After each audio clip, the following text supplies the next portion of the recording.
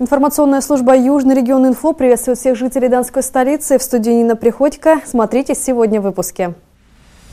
В ожидании метро из-за отсутствия федеральных денег в качестве альтернативы власти Ростова рассматривают новую трамвайную ветку.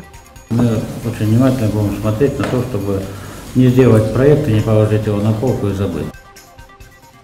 Ростов назвали лидером по подготовке к предстоящему футбольному празднику, а саму подготовку к чемпионату мира провели федеральные чиновники. Большое количество объектов запланировано к воду. По всем ним идет очень активное строительство.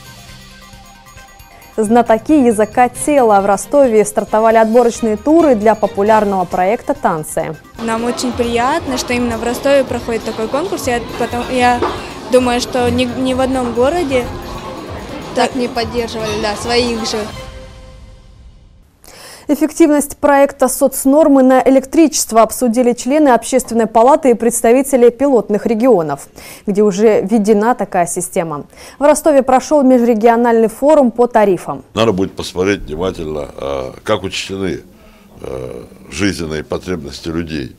Почему люди говорят, что нам это плохо все ли учтено. В эксперимент Донской край вступил в 2013 году. Главный результат – большая часть жителей укладывается в социальную норму и платит за электричество по сниженному тарифу, говорят местные власти. Мы сегодня э, тариф имеем в пределах соцнормы 3,50. И мы с этим тарифом опустились э, по тарифам для населения ниже, чем Краснодарский край, Астраханская область, а мы всегда были выше всех. И это как раз тот положительный в общем-то, эффект. И вы знаете, что тариф у нас опять заморожен. Губернатор, так сказать, поручил, мы, нас поддержала Федеральная служба по тарифам, и у нас э, тариф на 3,50 сохранится до э, середины 2016 года. Одной из самых больших сложностей стало формирование баз данных потребителей электроэнергии. Своим опытом дончане поделились с коллегами из других регионов. Власти Ростова нашли альтернативу большому метро. Проект трамвайной ветки от центрального рынка до северного жилого массива обсудили с представителями словакской компании. Ее глава Ян Башгонь заявил о готовности не только заняться строительством, но и поиском инвесторов. По предварительным подсчетам, общий объем финансовых вложений, вложений составит 6 миллиардов рублей. Мы можем говорить или и о китайских деньгах, или о европейских деньгах. Мы тоже имеем связи с китайскими банками. Э, да, э, мы э, будем через я думаю, три месяца открывать офис в Москве, где будет это будет, этот офис будет как совместное предприятие одной большой, очень крупной китайской инвестиционной банки нашей компании. Проект станет временной заменой метрополитену и должен решить проблему пробок по маршруту «Центр-Северный». Предполагается, что протяженность ветки составит больше 9,5 километров. Он пройдет по Буденовскому, улице Ларина и проспекту Нагибина. Всего 13 остановок. При этом, подчеркнул Сергей Горбань, об отказе от строительства большого метро речи не идет. Дело за выделением средств из федеральной казны. Пока в федеральной программе строчки нет помощи. Поэтому мы, у нас есть в бюджете деньги на проектирование, и мы очень внимательно будем смотреть на то, чтобы не сделать проект и не положить его на полку и забыть. Да. Поэтому мы в такой постоянной э, динамике ждем, когда будет федеральная отмашка. Кроме трамвайной линии, партнеры из Словакии предлагают строительство одной подземной станции. По расчетам властей, услугами легкого метро в час пик будут пользоваться 10 тысяч пассажиров в час. Строить пассажирский терминал аэропортового комплекса «Южный» начнут в мае. Сейчас круглосуточно расчищают территорию. Подготовку транспортной инфраструктуры к чемпионату мира по футболу в Ростове проверили федеральные чиновники и провели практический семинар. План управления перевозками, требования, рекомендации и лучшие практики. Подробности у Натальи Бешкаревой. Ростов – один из лидеров по подготовке к спортивному празднику, отмечают руководители Федеральной транспортной дирекции чемпионата мира по футболу 2018. Перед практическим семинаром они успели побывать на стройплощадках и лично познакомиться с ходом работ. Есть уверенность в том, что Ростовская область справится с подготовкой транспортной инфраструктуры. Большое количество объектов запланировано к воду. По всем ним идет очень активное строительство.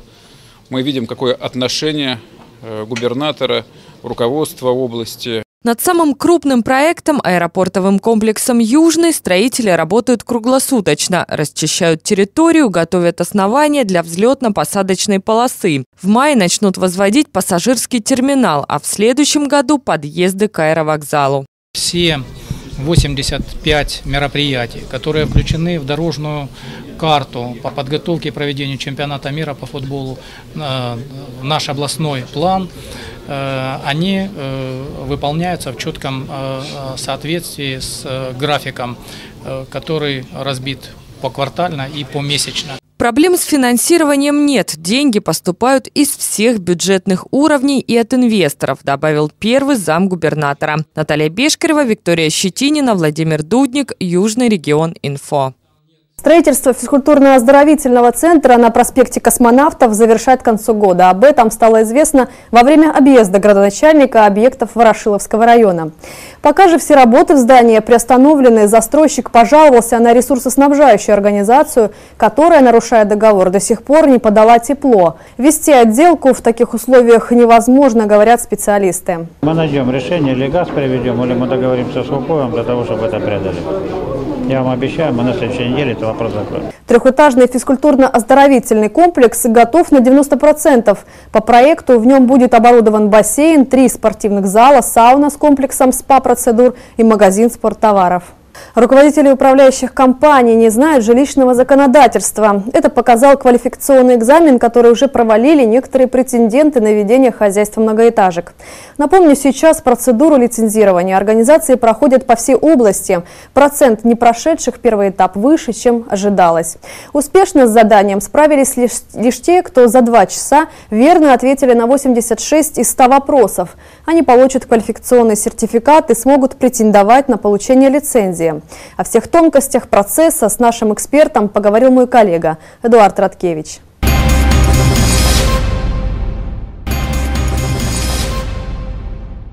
Здравствуйте, вы смотрите программу «Вопрос по делу». Я Эдуард Радкевич, и сегодня в нашей студии заместитель начальника Государственной жилищной инспекции Ростовской области Павел Асташев. Павел, здравствуйте. А, насколько я понимаю, с 1 мая 2015 года управляющие компании не смогут работать без а, лицензии. И согласно изменениям в законодательстве ЖКХ, все управляющие компании должны получить э, в Государственной жилищной инспекции специальную лицензию на продолжение работы. В связи с этим вопрос, а, как э, процедура лицензирования непосредственно будет происходить? Ну, я хочу сказать, что процедура лицензирования формально уже началась. Угу. В Ростовской области приняты все нормативно-правовые акты, которые касаются вопросов лицензирования. И в настоящее время мы начали принимать квалификационные экзамены у руководителей должностных лиц управляющих компаний. Собственно, эта процедура состоит из двух этапов. Первый этап – обязательная сдача квалификационного экзамена на знание э, жилищного законодательства. И второй этап – рассмотрение заявления э, соискателя лицензии – на получение э, лицензии на осуществление предпринимательской деятельности по управлению многоквартирными домами. Существует ряд требований, которым должна отвечать управляющая компания, и э, мы как раз-таки будем заниматься проверкой соблюдения э, соответствия соискателя лицензии этим требованиям. Павел, скажите, пожалуйста, по каким критериям будут отбирать э, подходящие и добросовестные управляющие компании? А в жилищном кодексе установлен а, перечень обязательных требований лицензионных, которым должен соответствовать соискатель лицензии, и которые мы будем проверять э, на этапе э, проверки документов на получение лицензии. Прежде всего, это регистрация юридического лица или индивидуального предпринимателя на территории Российской Федерации. Угу. Иностранные юридические лица лицензию э, на управление многоквартирными домами не получат. Э, второе лицензионное требование – это отсутствие у э, руководителя э, управляющей компании не снятой или не погашенной судимости за преступления в сфере экономики, преступления средней тяжести, тяжкие, особо тяжкие. Третье лицензионное требование – это отсутствие сведений о руководителе управляющей компании в реестре дисквалифицированных лиц. Существует административное наказание в виде дисквалификации – и вот если руководитель управляющей компании подвергнут этому административному наказанию и соответствующие сведения внесены а, в реестр дисквалифицированных лиц, то такая компания тоже не получит э, лицензию. А следующее требование – это отсутствие сведений об управляющей компании в реестре лицензий, об аннулировании лицензии. Но это требование будет применяться уже в последующем э, к тем компаниям, которые уже получили лицензию. И, наконец, э, еще одно требование – это соблюдение управляющей компании требований законодательства к раскрытию информации о своей деятельности. Насколько я знаю, 5 февраля первые управляющие компании э, области получили уже э, квалификационные аттестаты и теперь могут претендовать на получение непосредственно лицензии на управление многоквартирными домами. Вот скажите, пожалуйста, если не проходят они компании этот экзамен или директора, да, что происходит дальше?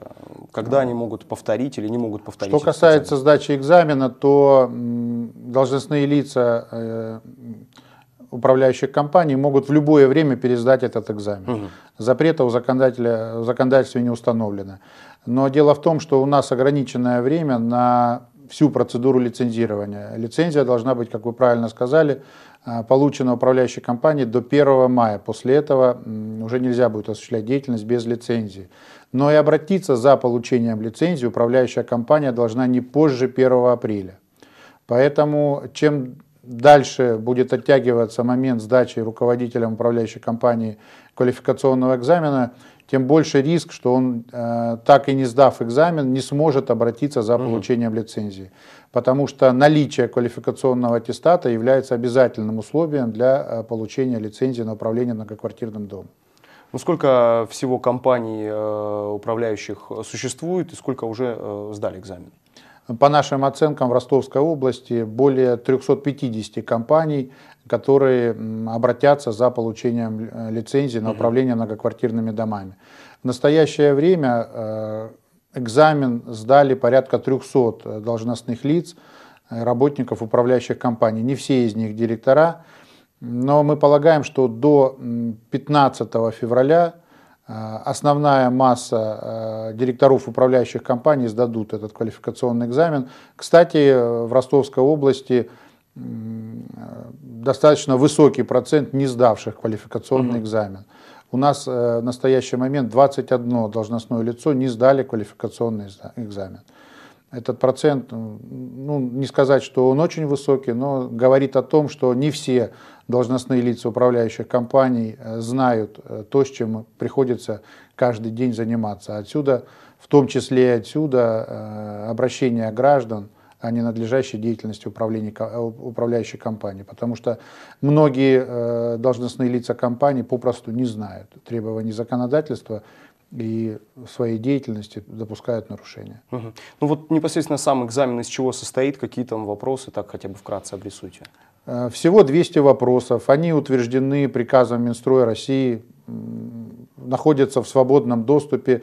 Это вопросы, которые касаются повседневной деятельности управляющей компании.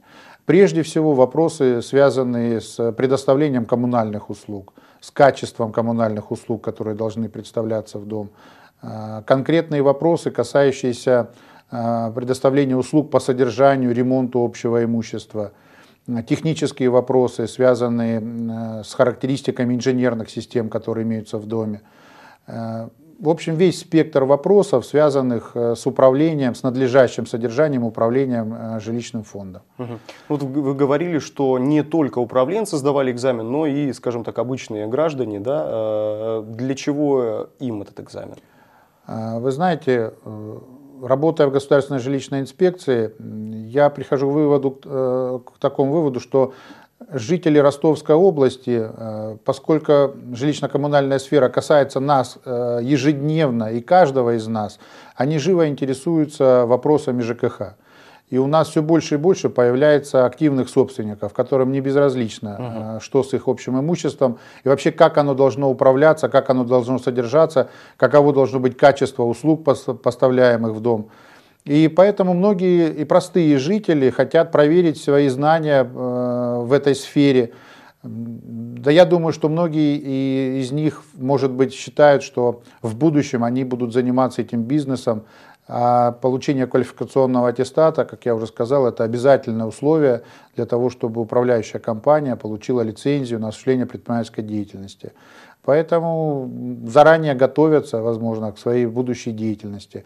Квалификационный аттестат выдается на время, срок его действия 5 лет. Угу.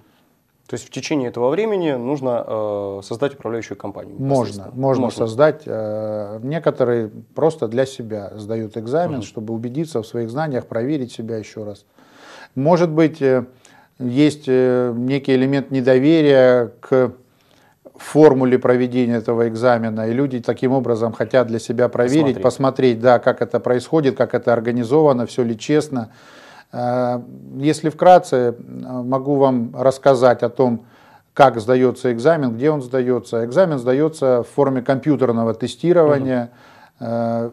200 вопросов путем случайной выборки каждый претендент получает тест индивидуальный из 100 вопросов. Э, за два часа он должен ответить минимум на 86% вопросов правильно. Тогда э, экзамен считается сданным. Сдаем, сдается экзамен э, в специально оборудованном компьютерном классе в котором находятся во время экзамена только те, кто э, претенденты на сдачу экзамена, экзаменуемые, и члены лицензионной комиссии, которая, собственно, и отвечает за прием квалификационного экзамена. Никаких подсказок, пользования какими-либо э, гаджетами, э, нормативной литературой невозможно, только твои знания и компьютер.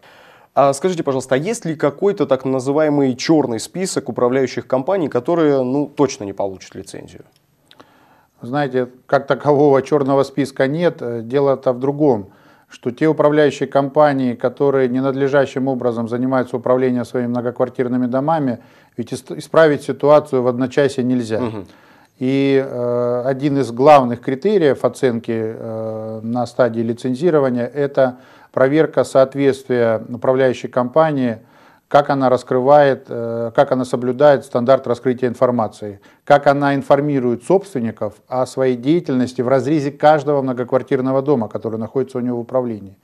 Это и сведения о выполняемых работах в доме, сведения о стоимости этих работ, отчеты управляющих компаний – и вот те управляющие компании, которые ненадлежащим образом осуществляют эту деятельность, они же и не раскрывают, соответственно, эту информацию. Поэтому эти компании заведомо рискуют э, получить отказ в выдаче лицензии, поскольку не будет этих сведений на э, сайте реформа ЖКХ, на сайте управляющей компании, а также, что немаловажно, в офисе управляющей компании. Ведь э, собственники зачастую даже не знают, что управляющая компания должна раскрывать информацию о своей деятельности, и эта информация должна быть в открытом доступе в помещении управляющей компании. Каждый собственник может и должен э, знакомиться с этой информацией. И вот э, те компании, которые в своей повседневной работе допускают эти нарушения, они же, собственно, рискуют не получить лицензию. Но наша задача состоит не в том, чтобы определить какой-то черный список и задаться целью не выдать э, лицензию управляющим компаниям. Наша задача состоит в том, чтобы на рынке управления многоквартирных домов остались управляющие компании, которые четко э, отвечают лицензионным требованиям. И в том числе процедура лицензирования, по моему убеждению, является тем побуждающим моментом, который должен э, переломить ситуацию на рынке управления, изменить Э, саму управляющую компанию, ее подход к своей деятельности, а самое главное, ее отношение к людям. Угу. Ну вот э, одним из главными, э, главными оценщиками, наверное, работы управляющей компании все-таки являются, наверное, жильцы э, домов. Вот скажите, в связи с этим, э, могут ли э, жители куда-то обращаться для того, чтобы там в конечном счете лишить, э, например, лицензии управляющую компанию? Может ли такая ситуация вообще быть? А, такая ситуация, безусловно, может быть. Но сейчас я хочу обратить внимание вот на что. Те управляющие компании, которые будут к нам обращаться за получением лицензии, должны знать, и мы об этом э, их предупреждаем, что собственник каждого дома, в отношении которого управляющая компания будет заявляться на получение лицензии, э, собственники будут нами информироваться о том, что управляющая компания заявилась за получением лицензии. И э, законодатель предоставил людям право на своем общем собрании – принять решение о расторжении договора управления с управляющей компанией. То есть на этапе лицензирования люди могут на своем общем собрании принять решение хотим ли мы дальше продолжать сотрудничество с этой управляющей компанией, независимо от того, а, есть ли какие-то основания для э, применения мер административного воздействия компании. То есть законодатель дал людям право на этапе лицензирования принять решение, хотим ли мы дальше работать с управляющей, с этой управляющей компанией. Но и в дальнейшем, когда компания получит лицензию, безусловно, э, обращения граждан, которые касаются ненадлежащего исполнения управляющей компании своих обязательств, будут для нас являться основанием для проведения проверок в отношении управляющей компании – и законодательством предусмотрено, что если в течение года э, управляющей компании не будет выполнено два предписания Государственной жилищной инспекции э, в отношении управляющей компании за ненадлежащее осуществление деятельности по дому, то информация об этом доме будет исключена из э, реестра лицензии Ростовской области, uh ну а попросту управляющая компания лишится права управлять, управления этим многоквартирным домом. И если таких домов э, в общем количестве э, домов, которые есть в управлении управляющей компании, наберется более 15%, то это является условием для принятия решения об аннулировании лицензии управляющей компании. Поэтому после того, как управляющая компания получит лицензию, мне кажется, управляющие компании еще более качественно должны подходить к осуществлению своей деятельности. Э, потому что теперь они э, рискуют утратить право вообще заниматься этим бизнесом и уйти с рынка при ненадлежащем подходе к управлению многоквартирными домами. Павел, спасибо, что пришли. Танец живота, хип-хоп и танго на одной сцене. В Ростове началась борьба за титул лучшего танцора региона. Участники сражаются не только за призы, но и за возможность продемонстрировать свой талант на большой сцене в Москве. Чем южане поразили столичных профессионалов, узнала Анна Глебова.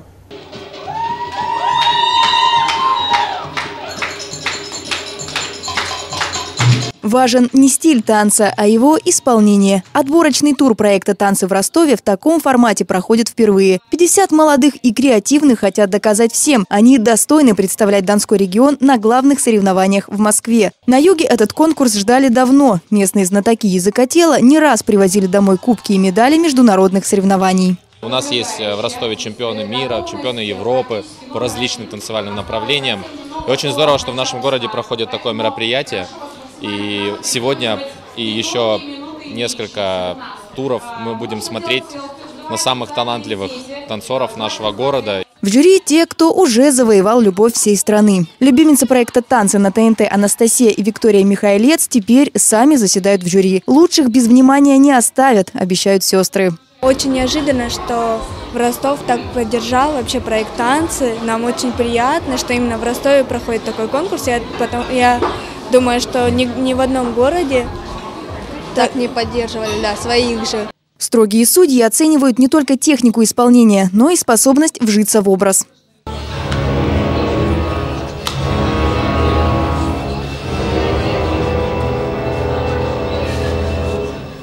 Жанна Панарина и Кристина Кулакова представляют направление «Модерн». Философский танец на тему борьбы добра со злом обстановку накалил до слез. Я просто весь этот танец, я его полностью пережила. Из 50 заявленных номеров в следующий этап пройдут только 5. Отборы будут продолжаться в Ростове еще несколько недель. Анна Глебова, Владимир Дудник, Южный регион Инфо. На этом у нас все. Оставайтесь на нашем канале и заходите на наш портал rostovlive.ru. Я же с вами прощаюсь. До свидания.